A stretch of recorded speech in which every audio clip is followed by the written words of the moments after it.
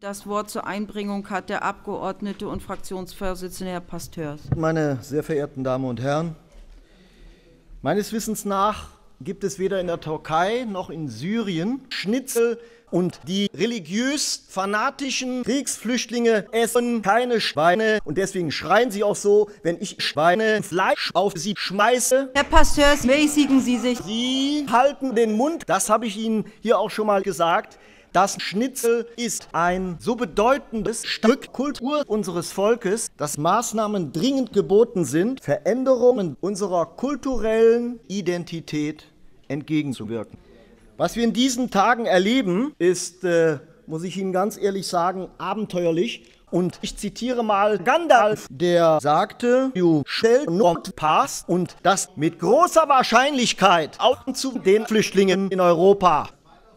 Meine sehr verehrten Damen und Herren, normalerweise ist es ratsam, auf die Toilette zu gehen, wenn man scheißen will. Damit meinen ich Arschbacken spreizen und so ganz leicht drücken, nicht mit Gewalt, weil das tut der Rosette nicht gut. Es gibt aber Menschen, da kommt, die Scheiße aus dem Mund und wir von der NPD gehören dazu.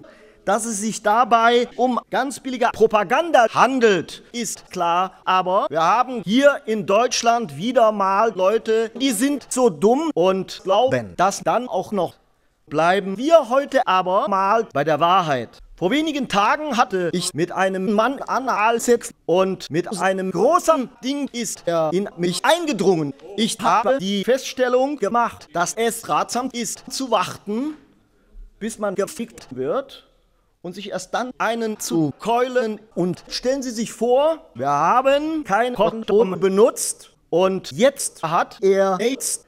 Lol, was für ein Opfer! Herr Pasteurs, ich erteile Ihnen dafür jetzt 4.466 Elektroschoss.